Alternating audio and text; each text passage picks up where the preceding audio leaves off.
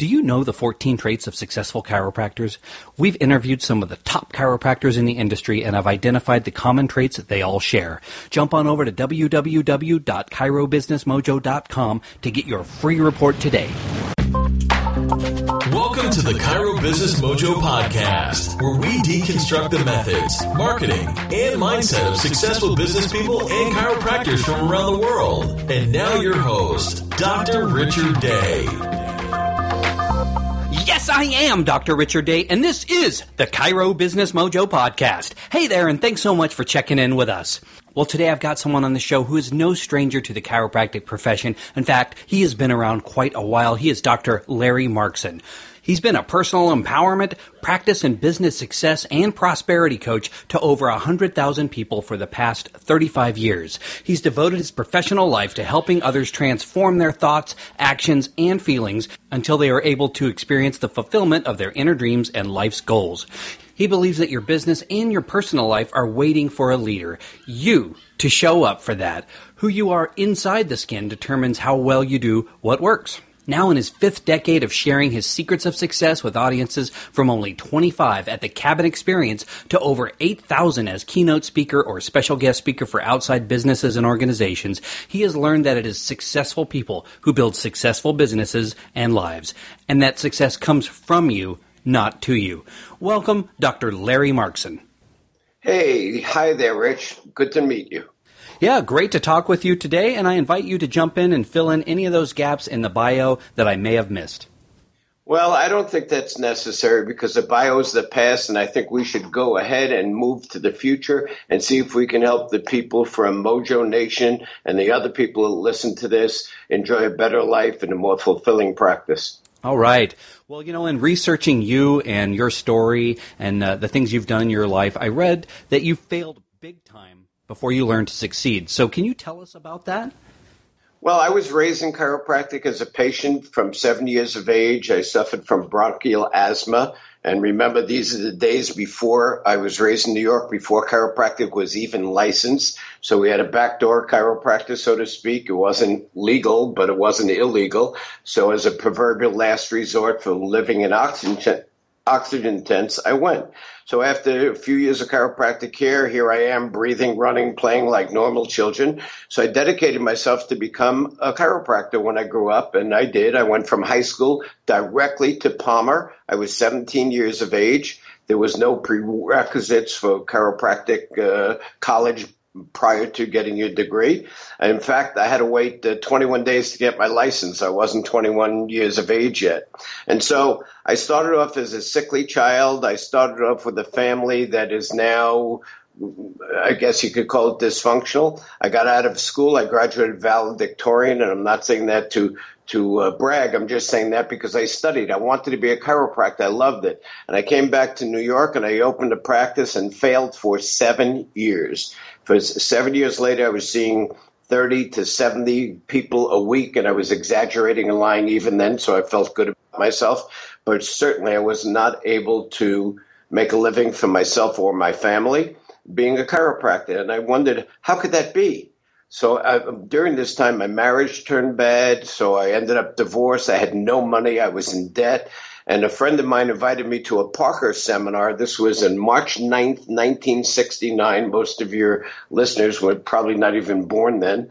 And um, I went to a Parker seminar. And that was the moment and the day that changed my life because I walked out uh, um, uh, Doc, uh, having a feeling, a deep seated feeling that if one person can succeed, I can too. I'm no dumber, I'm no smarter, I'm no different. I'm a human being, and there has to be some success principles. So I failed uh, financially, I said, in marriage. I failed in, in practice, I, just, and I had every excuse in the world, just like everyone else does. And then I said, uh, one remark that Jim Parker made that day, he said, God doesn't sponsor any failures, and that if you are to succeed, it's up to you. So I walked out saying that if someone else could succeed, I can, and that was the beginning. So I just, I went on a 10 year study to answer one question, and that was, what makes one man or one woman let's say one chiropractor more successful than another? Was it the office? Was it their location? Was it their height or their weight or their religion or the color of their skin or how left brain or right brain they are? I didn't know. Now, after 10 years, I started to understand. So I went into over 2,000 chiropractic offices years and years. So I, I, I, ended up learning how to design and build them, and I built hundreds and hundreds of them later on in life. But I realized that it was the person that becomes successful, not the place or technique or school they graduated from. So that was my story in a nutshell. Wow, there's a whole lot there. I think I want to dig a little deeper into each one of those. And I guess it starts with our sense of self. Where do we get that originally? I know it's family. What else? Well, I well I call it the mother, father, teacher, preacher. MFTP, so all the people that have been in my in Markson Management Services and the Masters Circle and the Markson Connection and the Cabin Experience, the four or five different businesses that I've had in chiropractic, all of which were very successful because I was started to use the principles that I was learning over this 10 year study. So if I came into your office and I saw something that was working better than mine, I threw mine out and no longer had proprietary rights and I just adopted and modified yours and put it into practice. So I was using all good, successful thing. And I saw the way you talk to your patients and the way you dressed. So it is. It's mother, big influence of you, and father, of course, a big influence. Stereotypical in the old days, the father was the moneymaker and the mother stayed at home. Not true in today's day and age, but was true for me. And my father was a pretty rough uh, disciplinarian, and my mother learned to give guilt and not on purpose. So I didn't grow up with the right thinking. And then environmentally, so we didn't live in in the right neighborhood. We I didn't associate with the right people. So if it's your mother and father, teachers, uh, the T is teachers, and that doesn't mean only your teachers in school, in, in elementary or high school, or even college and chiropractic college. It means anyone that teaches you something. Television teaches you something. The newspapers teach you. Peer pressure teaches you. Anyone that taught you something, you get to believe what they say to be true. So here's my saying about that. And then preachers, let me just finish MFTP, is not a preacher. Clergy is anyone that preached a doctrine to you that you started to believe.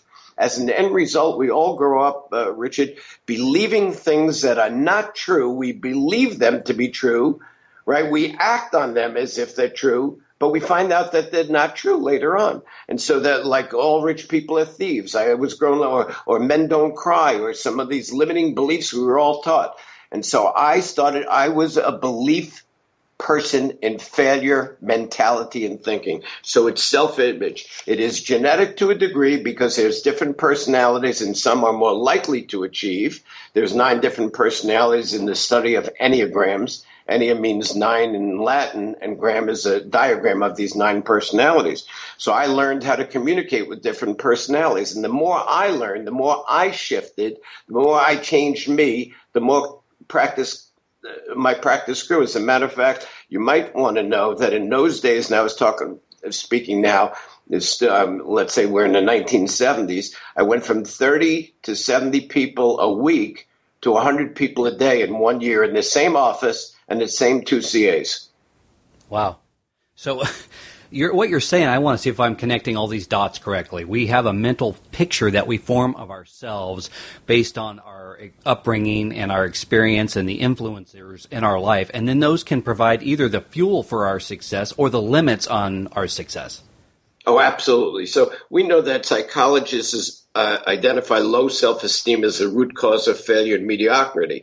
And after working and coaching more than 30,000 chiropractors in or through my programs over all these years, I totally agree. And my knowledge comes from the years of observing all these people and watching how they function and how their triumphs or humiliations are absolutely caused by the mental images they have on yourself. So I can promise you that your self-image which is the way we see ourselves, is the very core of your personality, and it determines more about you than any other single factor affecting your uh, your practice or your personal life. So my life was then dedicated. First, I did marketing management, and we had a thousand clients learning the, what what uh, what to say, what hours to have, how to hire and fire, how to do a report of findings, how to do a consultation, blah blah blah. And there's still people doing that. But uh, we, we had people, Richard, let's say there's 10 people, and they would come to my seminars and read all my textbooks and listen to all the recorded material. And at the end of a year, two people would succeed beyond belief right? Two people would fail no matter what I did, and six people would fight for different levels of mediocrity. And my question was, how could that be?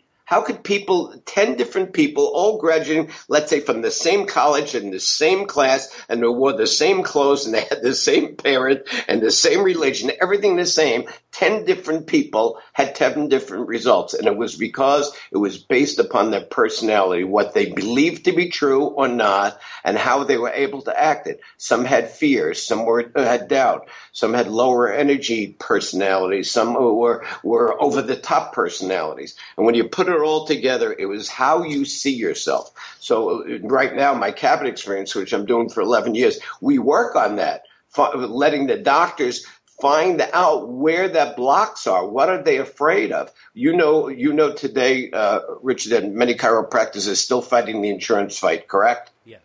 So, and, and you would suggest to them, well, why don't you just change to a cash based practice? And a lot would. It's simpler, it's cheaper, you make more money, but they're afraid to do it. So, how do you overcome that? So, it's not the technique, it's not your professional skill, it's not your office location, it's that you're just afraid. Or how many doctors have a CA at the front desk that should not be there for whatever reason? Everyone knows it, but is unable to terminate that relationship and get a new and better and more high achieving CA that aligns with your principles and purpose. They let him stay. And the true story is I once said to uh, uh, um, a doctor, well, this is August. Why don't you just terminate the CA and, and move forward and let's get someone better and train her right and blah, blah, blah. He said, how can I fire her? Uh, you know, Christmas is coming. I said, this is August. You see me? They're just unable to do things.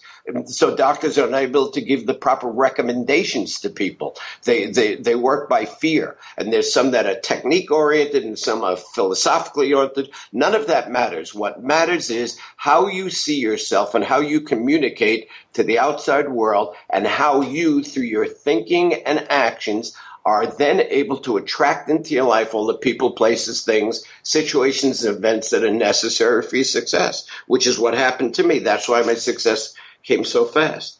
So, and I think that answers the question. Well, let's uh, let's look at what it takes to change ourselves. You know, you've laid out a, a very good case for we are uh, the result of our upbringing and other factors that have formed and shaped who we are. But let's say we're not getting the result we want. What are some of the tools that you teach to start rewriting our personality DNA? Well, I can give you the basic four because we have a time limitation here. That's in my book, Talking to Yourself is Not Crazy. And by the way, for your listeners, there's a free download of the book, Talking to Yourself is Not Crazy. And we sold and gave out thousands upon thousands upon thousands of these books. It was written some years ago. Uh, it's about opening your mind so you can have it your way, so you can create your destiny, so your past doesn't have to determine your future, so you can change your relationships and you can change your prosperity quotient and you can change the volume of your practice and you can change anything you want. So, and, and so the big four would be this to me affirmations you know, the ability to talk to yourself, stop putting yourself down emotionally, physically, spiritually by not only the words you say, but the thoughts you have and the feelings that you have. And then written goals so that you can your the goals are a map for your mind that's your left brain has to have a map a gps system where it wants to go and then meditations and that doesn't have to be uh, people get scared. It's not a formal meditation like guru maharishi but a way of quieting your brain from that noise that's always in it the chatter telling you what you can't do and what you're afraid and i'm overwhelmed and i can't do this and he told me that and she told me that. So the uh, way music does it meditations do it just to, cl- to lower the brain cycles from 14 to 21 per second, which is where we are at right now, to 7 to 14, which is just about the dream state, because then you act, uh, activate the right brain, which is the brain of creation. The right brain creates, the left brain does. The left brain thinks and understands. The right brain just sees uh, uh, uh, sees things. So the human brain thinks in pictures. So it's affirmations, goal setting, meditations to quiet down, and then the big key to all of it is visualization. The ability to close your eyes in a in a lower cycle brains per second, a, uh, sort of a meditation when you're quiet, and picture visually picture not think, not write, not type, but picture like on a TV screen your life or the practice you want. You can picture here's an empty reception room. You close your eyes and you picture a fill, filled one.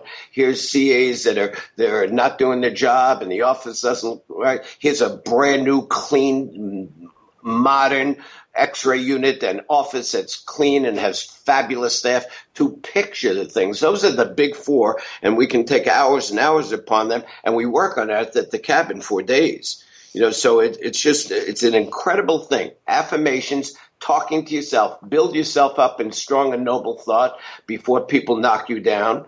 I remember people saying, even my father said, "Don't see a hundred people a day. You, you, are going to wear out. It'll hurt yourself. You're going to get sick." And I would say, why would you want to put negative thoughts in my house? I reject that to myself. I wouldn't be disrespectful. I rejected that. I said, yes, if someone could see 100 people a day, I could. And I failed for so many years, so that became a drive. And that's not an indication of success, by the way. There are a lot of failures, believe it or not, as human beings that see 100 people a day. So money is not the the the yardstick, nor is volume. It's great relationships, a fabulous self image, you know, um, a, a, spiritual connection. It's it's providing some sort of service to humanity, and as an end result, the money and the numbers come as a result. So the bottom line, Richard, I would say that if the people listening to this would know if they change, then their world changes. So it's not if my wife or husband changes, if I get more CAs, when I get a, a, a digital x-ray unit, when the insurance companies get off my butt, none of that counts. It's how you see and you react to the way the trials and tri- tribulations that nature throws in your path. Well, I downloaded your book and uh, read through it, and I highly recommend it. I'm going to link to a copy of that in our show notes page for this show when this episode goes live. But I want to touch on one of the things, uh, the four things that you mentioned, and that is affirmations. I saw that there are three different examples in your book, and I want you know to know why those are so powerful. I think whether we're conscious of it or not, uh, we talk to ourselves constantly, either out loud where we can hear it or, or, silently by thought in our own mind. So without realizing, we either build ourselves up or we put ourselves down all the time, inadvertently, and we're actually part of the cause of our own success or pain or poor self-image. So if you constantly talk to yourself, repeat and review with regularity, positive thoughts over a long period of time, then your mind gets a new image of what you want to create and it does it for you without caring if it's good or bad, right or wrong. It just carries out your command. So if I say an affirmation would be um, one of the ones in the book, I am a healthy, vital, active, and successful human being. I affirm this day that all tissues in my body are functioning perfectly, and that is the way it is supposed to be. So that's positive thoughts. But then I, if I say that while I'm stuffing chocolate cake into my mouth and having donuts all day and no green vegetables and not exercising, what you're saying is not going to meet your action. So the concept is to do the affirmations over and over and memorize the new ones so you can cloud your past, but then you must take action steps commensurate with what you're saying. So if you're saying I'm a generous person, then be generous. If you say I, am a forgiving person, uh, then you have to be able to forgive people that have hurt you in the past. Which is, by the way, the, there's two blocks to all of success. One is the inability to forgive someone in your past for having hurt you, and that's a hard one. And then the second one, which is a big daddy, and we spend three hours of it in the cabinet experience, fears. Determining which fear you have. Fear, there's six basic and a hundred sub Right, but fear of abandonment, fear of rejection. Chiropractors are famous at fear of rejection. A patient doesn't follow your orders, they don't listen, and a doctor feels bad, so they lower their recommendations. Fear of rejection, fear of loss, fear of failure, fear of success. There's all of these different categories, and we have in the audience they identify their fears and see they're no different than anyone else. And if they eliminate a fear, what happens if you eliminate a fear of uh, going on an elevator?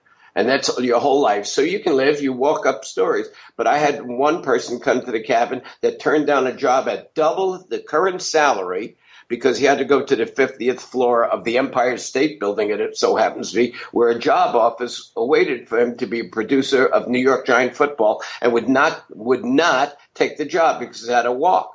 And nothing could change until his daughter got in and said, Daddy, if you're afraid of elevators, I now am too. So he came to me and came to the cabin, and now he does make that money and he does get on elevators. So how does fear of flying? Is that important to your life? No, you don't have to fly, but if you do, it opens up the whole world. Elevators opens up more people to see. So the object is to get rid of the, the mental bars, the mental prisons we put ourselves in.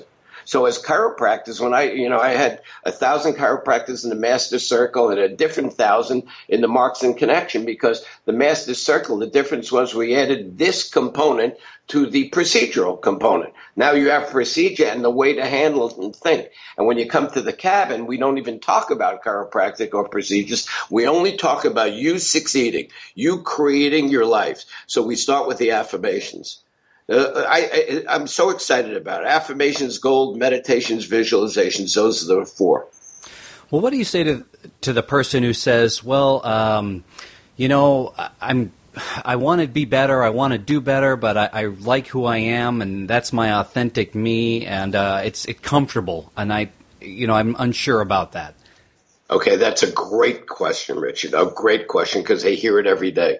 One, I want to be nice because on the radio, but what they're saying, they have backed into that feeling because it's a safety net, but it is not true.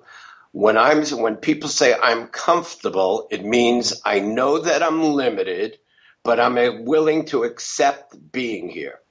So that's the average chiropractor, by the way, and the average person in the world. But look out at this world. Are they succeeding? And I don't mean you have to be a superstar, but surely you can be better. Being comfortable means being limited. It means I'm unwilling to take a risk. I'm unwilling to try something new. I'm unwilling to change. So, and, and some of the t- people, uh, when they start to change, they feel uncomfortable. So they go right back into their comfort zone.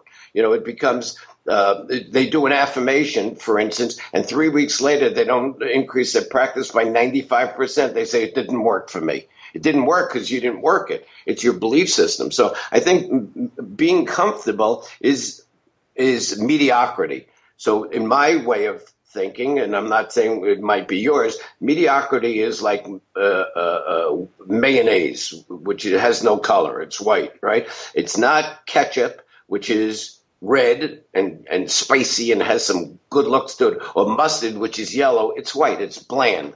That's a bland life. And if that's the, but it's, it's America. You can do whatever you want to do. I think most people can achieve more, do better, save more money, be healthier and happier. And I'm and not, it's not a race for the biggest money, but you have to admit that in every walk of life, money solves some problems. If you earn it by, by service to humanity, then take all you can because it's the universe's way of rewarding it. Well, I've heard of the yo-yo diet, but in reading your book, you talk about something called the yo-yo syndrome. What is that? you know, when I was studying all these doctors, and remember, I had thousands of doctors in. I've spoken at every state association in America. I've spoken at every college and around the world. So, you know, I've been around for a lot of years, 55 years as a chiropractor. And I say um, the yo-yo syndrome is that I notice that people are up or down by what happens to them. So if you're alive, there's a good chance you're you're suffering from an infectious disease that I think is so highly contagious that infects over 80%. A yo-yo, you're, uh, uh uh, uh, let me explain it this way. If something good happens to you, you're elated and you're up. Okay. So the mailman comes with a check for a PI check for $3,000. So it's a good day. So you feel good. You're buoyed by spirit. The mailman dies. You're down You get five new patients, you're up. You get no new patients, you're down. You have you have the wedding of a daughter or a confirmation or some nice thing happens in your family, you're up, right? Or your loneliness drives you down. So people are up and down, and they are up and down, Richard, by what happens to them, not by what they're creating. So in other words, I don't give anyone, not you, not anyone, but me and my maker, permission to put me down. I already put myself down enough. I don't need any help. So instead of being up and down by what happens to you, I have goals and affirmations of what I want. So winners compare their goals to their own achievements, whatever they may be, and losers compare their goals to everyone else, what they're doing. Well, I'm not everyone. I work on me continually. So I'm 76 years old next week right? And I still do my affirmations, and I have them. People say, "Why do you do that? You're rich. You don't have to, you don't have to do it. You don't. Have, I don't have to work anymore. I work because I love it. I enjoy helping people. McCabin, we we are, we're like a family coming together, and I'm, I'm in touch with all of the people for these 11 years have gone to the cabin experience, and hundreds of others. We're still in touch. We're friends because they are on the grow. So that's what I'm talking about. So the yo-yo is up and down. I want to cut the string. I call it yo-yoitis, inflammation of your yo-yo. well, uh, one of the things you talk about in the book is the power of, of observation. What is that? Okay, so so most people when when we come into the cabin experience, for instance, people come the number one lesson I tell them most people are, are not observant as to who they are in their environment. How do you react? How are you dressed? How, the words you use, the syntax of your sentences, the feelings you have. We're not self-observant people. So I can look at people and I do it at the cabin and I pull up a couple of people and by the way they stand, by the words they select, by the tone of their voice, by who they, uh, by the colors they wear, I can observe something about them. So when you're communicating with someone, we always like chiropractors give the same report of findings to everyone but I'm a driving personality, as you can hear, and there are amiable personalities. So we should be communicating not the way we are. We commu- should be communicating by the what the other person, who they are, so they can hear you. So if I was talking to an amiable, um, mild-mannered reporter from the great metropolitan newspaper, Clark Kent, I would lower the tone of my voice, speak a little slower, and communicate in a way they would hear and understand me. And it's not because they're dumb, they're just different. And if I would say, listen, you will have to come three times a week for the rest of your life and refer 75 people, and you have to do it by Tuesday, I would overwhelm them. So what I've learned to do by observation is if they cross their arms when they're sitting in the consultation room, I cross my arms. If they cross their legs, I cross my legs. If they speak rapidly, I do. If they speak slower, I do. So I immediately, uh, uh, uh, uh, I change who I am to communicate. So to, I observe. I watch people. I, I was on an airplane yesterday, right? And uh, this woman came, she was probably I'm guessing 50, 60 years old, and she had one of these suitcases things that you put up in the overhead rack, and and she could not do it. And I'm looking around, and there's three men, three times the size of me. So it took me at 76 years old and said, "May I help you?" She couldn't do it, and nobody got up to help her. So I observe that, and then I sit down and I say, "You know what? You just did a good thing, Larry. The universe will reward you." So I'm in the business of growing myself and observing the outside. And uh, the truth is, this sounds ego, but it's not. I don't want to be like 80% of the people in the world. I don't want to be poor. I don't want to be alone. So, uh, uh, you know, I don't want to be, uh, have a poor practice. So instead of saying I want to be, I train my doctors just stop tell, saying what you don't want. I don't want to be fat. Start saying what you do want. I want to be thin and healthy and strong. Do you see what I'm saying? So the observation, the only way you can know where you are, look at your home. Is it cluttered?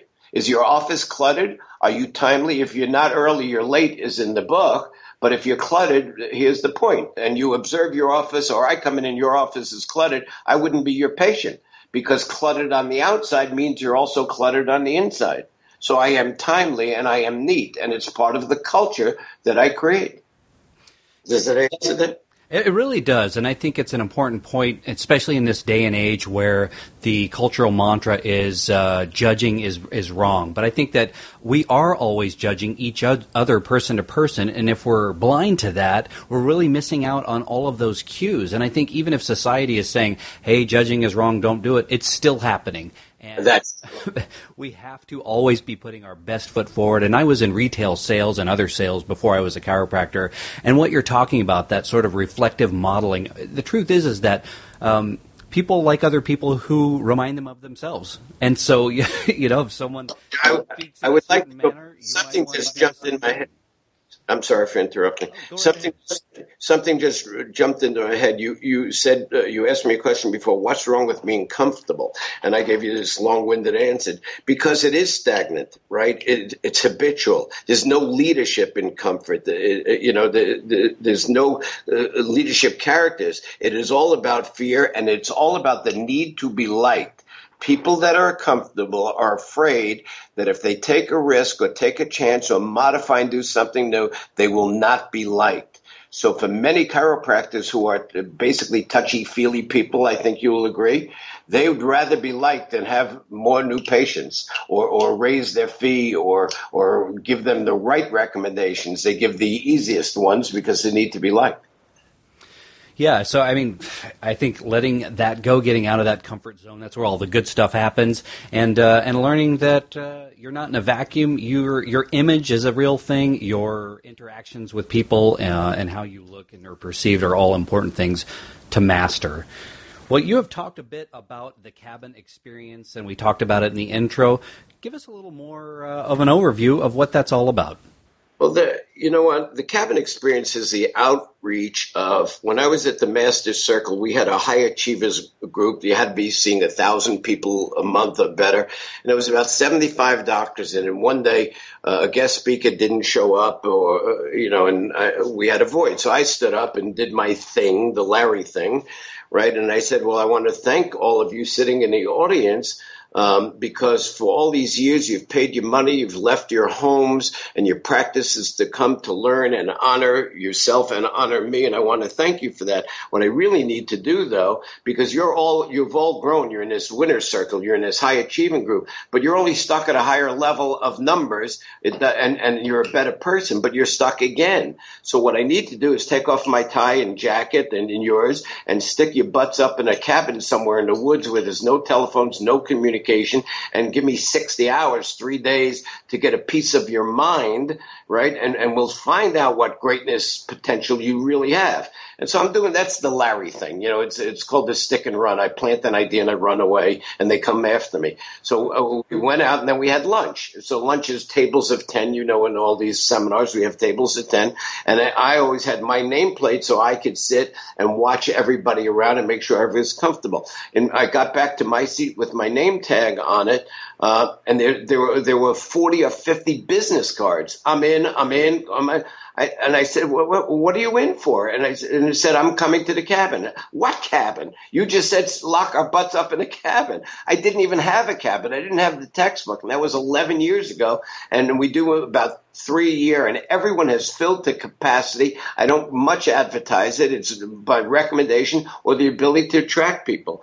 So here's about the cabin. Can you imagine you're spending three incredible and magical days working on yourself and learning how to change your entire life for the better. That was my thought. And what if you could really improve your life by participating in a process that is guaranteed to help you change the way you think, change the actions you take, change the feelings you have, and as an end result, actually create a remarkable life, not just uh, hearsay, having nurturing, fulfilling relationships and all the success.